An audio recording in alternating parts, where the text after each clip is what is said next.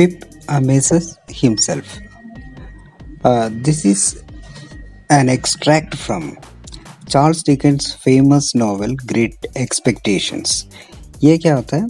Charles Dickens का मशहूर एक नॉवेल है ग्रेट एक्सपेक्टेशंस नाम से। उस कहानी का एक हिस्सा है ये। ये कहानी it's a story of an orphan Pip Pip नाम की एक अनाथ बच्चे का कहानी। इसको पालन पोषण वगैरह इसकी बहन करती है, लेकिन ये बहन उतनी अच्छी नहीं थी, बहुत ही गुस्सेल थे। लेकिन इसकी जो ब्रदर इन लो है, जो ग्रिगरी ये बहुत अच्छा आदमी था। उसकी सिस्टर की हस्बैंड वो बहुत अच्छा आदमी था। और इसका एक अंकल था पंबल चूक ये भी बहुत ही क्रूवल आदमी था। पिप को हमेशा ये बहुत परेशान करते थे एक दिन पिप मिस हैविशम और उसकी नीस की घर पे जाता है, लेकिन उधर वो लोग इनके साथ बहुत बुरे व्यवहार करता है।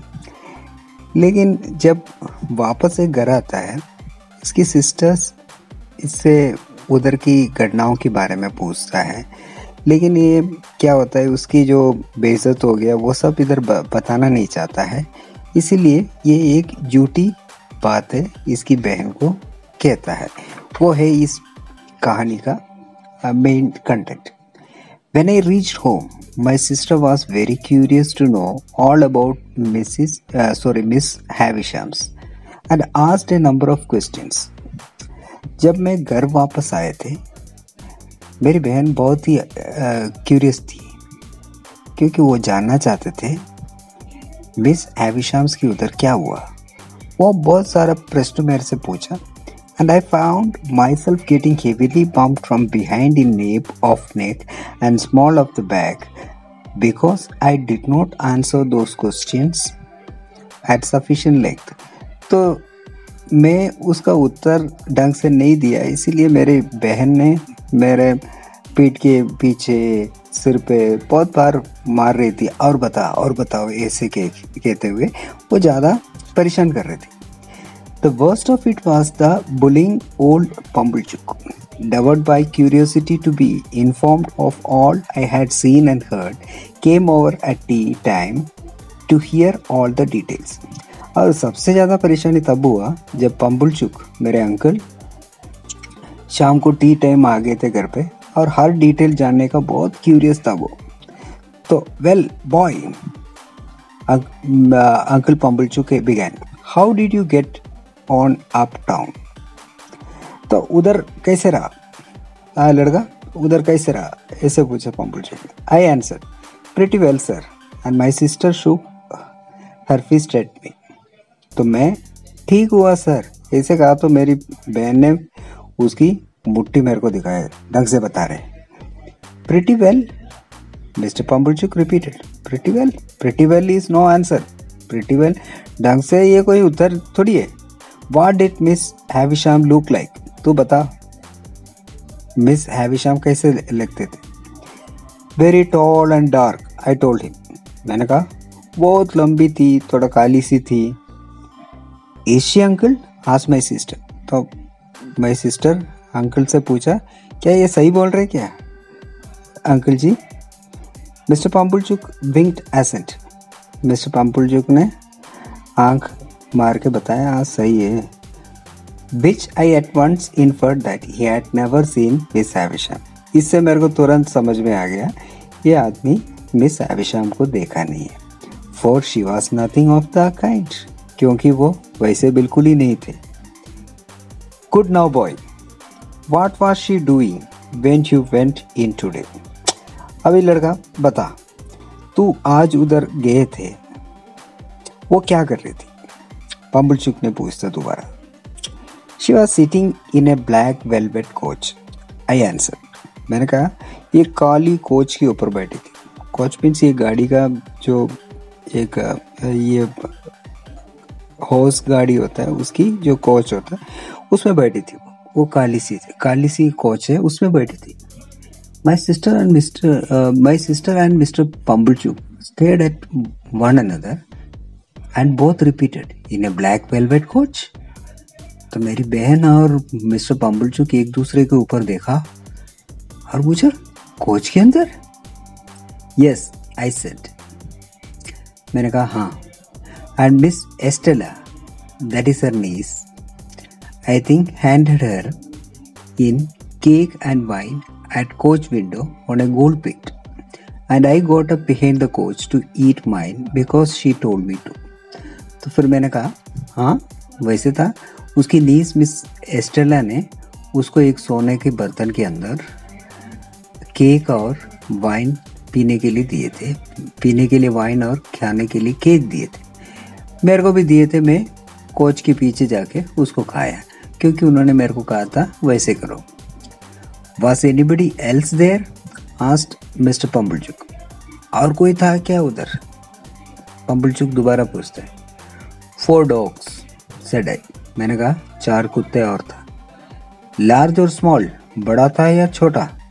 इमेंस बहुत बड़ा said I and they fought for veal cutlets out of the silver plates उनको एक व्हील का कटलेट बना के एक सिल्वर की बास्केट में रखे थे, उसको खाने के लिए वो एक दूसरे से लड़ रहे थे। Mr Pumblechook and Mrs Joe Mrs Joe Pip का सिस्टर है stared at one another again एक दूसरे के ऊपर दोबारा देख लिया। इन अटर अमेजमेंट ये बहुत ही आश्चर्य हो। गया I was perfectly frantic reckless under the torture क्योंकि मेरे को इतना परेशान कर दिए थे ये दोनों मिलके। मैं तो अभी कुछ भी बोलने के लिए तैयार हो गए थे। मैं तो पागल हो गए थे। And would have told them anything और उसको कुछ भी बोल देते थे मैं वेर वॉज़ दिस कोच आज मेरी सिस्टर और मेरी सिस्टर पूछती है ये कोच कहाँ थे? इन मिस हैविशाम्स रूम मैंने कहा मिस हैविशाम के कमरे के अंदर। दे स्टेड अगेन उसको आश्चर्य हो गया, या, ये घोड़े गाड़ी का ये कोच कमरे के अंदर कैसे आ गया? But there was in any host to it फिर मैंने कहा, कोई घोड़े को बांधे हुए नहीं थे उसमें। Can this be possible uncle आज मिसेस जो मिसेस जो पूछ ये तो संभव हो सकता है uncle ji. I tell you said Mr Pumblechook Mr Pumblechook ने कहा, मैं बाद में बताएँगे तेरे को। My opinion is it's a sedan chair she is flighty you know मेरे हिसाब से क्या होता है, एक सेडान चेयर होगा, एक बड़ा चेयर होगा उसको ये लड़के को पता नहीं है, इसलिए ये बोल रहे होंगे। क्योंकि वो दिखावा करने में बहुत माहिर है she is flighty do you ever see her in it uncle uncle जी, आप कभी उसको देखा था क्या उस चेयर में? How could I he answer मैं कैसे देखूँ? Force to admit that he had never seen her in his life आखिर में इसको बोलना ही पड़ा। ये ज़िंदगी में कभी उसको देखा नहीं है। He had only spoken to her from behind a door क्योंकि वो उससे एक डोर के पीछे से डोर वो डोर के उस तरफ़ था, वो ये डोर की इस तरफ़ था। इस तरीके से ये दोनों आपस में बात किए थे। Listen boy he said turning to me सुनो बेटा, और वो मेरे तरफ़ मोड़ा और कहा you went there to play what did you play at तो तो उधर खेलने के लिए गया। तूने उधर क्या खेला? We played the flags I said हम झंडों से खेला। फ्लैग्स एक और मेरी सिस्टर मेरे सिस्टर मुझे फ्लैग्स से? झंडे से क्या है? यस आई सेड मैंने कहा हाँ। Estella waved a blue flag Estella क्या होता है एक ब्लू कलर की झंडे लहराया I waved a red one मैंने एक लाल झंडे लहराए and Mrs Havisham waved one sprinkled all over with gold star और मिसिस हैविशाम ने क्या होता है उसके झंडे के अंदर बहुत सारे सोने की, कलर की तारे थे। Out at the coach window वो कोच की विंडो की उधर से वो लहराते थे। And then we are waved our sports and hurrahed उसके बाद हम तलवारें लेके हुरे के उससे भी खेला। स्पोर्ट्स रिपीटेड माई सिस्टर तलवारों से? Where did you get that spot from तेरे को कहाँ से मिला तलवार? Out of a cupboard and I saw pistol in it उधर एक कबोर्ड था, उसके अंदर से निकाल के मुझे दिया था, और उधर बहुत सारा पिस्टल था गन्स था सारा एंड जैम पिल्स और ये बंदूक पे लगाने वाला गोलियाँ भी था। There was no daylight in the room उसके अंदर क्या होते, बाहर की कोई रोशनी नहीं आते थे but it was all lighted with candles लेकिन पूरे कमरे कैंडल से सजे हुए थे। They both stared at me and I with an innocent look stared at them वो दोनों मेरे को गुरखे से देखा। लेकिन मैं क्या होता है ये इनोसेंट के तौर पे? तब बे, बेगुना की जैसे मैं उसको उसकी तरफ़ देखा। I beg to observe that I think of myself with amazement. When I recall the lies I told on the occasion.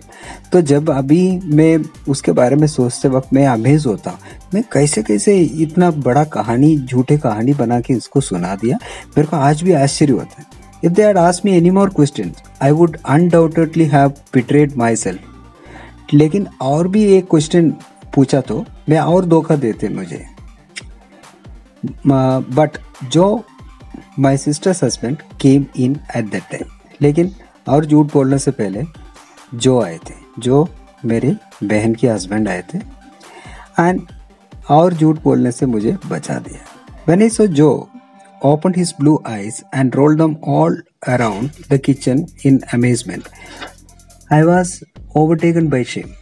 लेकिन जो भी ये पूरे आश्चर्य से देखा तो मुझे थोड़ा शर्म आ गया but the shame was only as regarded him क्योंकि शर्म सिर्फ़ इससे मैं जो को एक झूठी कहानी सुनाए तो जो भी इसको सुनना पड़ा, इसीलिए मेरे को शर्म आया क्योंकि मेरे बहन को और पंबलचू को ये झूठी कहानी सुनाने में मेरे को बिल्कुल ही शर्म नहीं था। Towards Joe and only Joe I consider myself a young monster तो सिर्फ़ जो की तरफ़ देखते वक्त। मैं मेरे को एक बहुत बड़ा गुनहगार समझते थे क्योंकि when when Mr. Pumblechook had driven off and when my sister was washing up, I stole into the forge at Joe. तो जब पम्बुलचुक चला गया और मेरी बहन कोई वॉशिंग करने के लिए चला गया मैं सीधा उसकी फोर्ज में आया फोर्ज मीन्स जहाँ वो रिपेयरिंग वगैरह करता है जो एक मैकेनिक टाइप का काम करता है उसके पास आया जो I should like to tell you something जो मैं आपसे कुछ बात कहना चाहता हाँ। Then tell us Pip what is it हाँ बता पीप क्या है वो? Do you remember all I said about Miss Havisham आपको याद है? मैं हैविशम के बारे में जो कुछ कहा it's a terrible thing it's a untrue जो ये सारे झूठ था। What are you telling me cried Joe Joe ने कहा, तू मेरे को क्या कह रहे? Falling back in a greatest amazement वो और आश्चर्य हो आई डू इट्स लाइज जो ये सब झूठ था। Do you mean no black velvet coach no dogs no veal cutlets at least there was dog a puppy I shook my head आप क्या कह रहे क्या उधर कोई वेलवेट कोच नहीं था? कोई कुत्ते नहीं था? अब व्हील कटलेट्स वगैरह नहीं था? कम से कम उधर कुत्ते तो होंगे छोटे मोटे पपी तो होंगे उधर। आई शुक माई हेड मैंने मना कर दिया। It's terrible Joe and it ये बहुत बेकार था, है ना जो ऑफुल वाट प्रोसेस यू तू किस तरीके का झूठ कैसे बोलते हो तू? I don't know what process में जो Miss Havisham and Estella were both rude to me and lies had come of it आपको पता है मिस हैविशम और एस्टेला मेरे साथ बहुत बुरे व्यवहार किए थे। इसलिए मैं ये सारे झूठे बोला। There is one thing you may be sure of Pip, namely that lies is lies लेकिन पीप ये बात ध्यान रखना। झूठ हमेशा झूठ होता है। Don't you tell any more of them ज़िंदगी में कभी भी तू इस तरीके का झूठ कभी नहीं बोलना है। सेट जो you are not angry with me जो आप मेरे से नाराज़ तो नहीं है? No old chap go upstair to bed and pray never to do it any more तू ऊपर चल जा और प्रार्थना कर लो। दोबारा कभी मैं झूठ नहीं बोलेंगे, इस तरीके का प्रार्थना कर लो। When I go to my little room and said my prayers I did not forget Joe's advice जब मेरे कमरे में गया और मैं प्रार्थना कर रहे थे, मैं जॉ की एडवाइस को याद आए मुझे। मैं उसको भूला नहीं। That was a memorable day for me उस दिन मेरा ज़िंदगी का एक यादगार दिन था for it made great changes in my क्योंकि उस दिन मेरे ज़िंदगी में बहुत परिवर्तन लाए थे। that's all of this lesson. Thank you. If you like this video please subscribe to my channel. Uh, share it to your friends. Thank you.